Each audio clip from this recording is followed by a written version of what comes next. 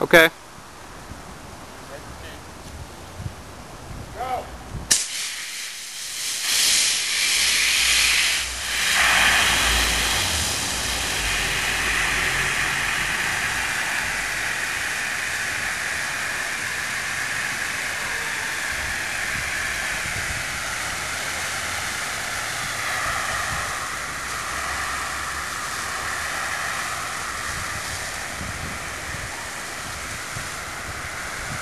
Hey Dave, put some on this unit right here.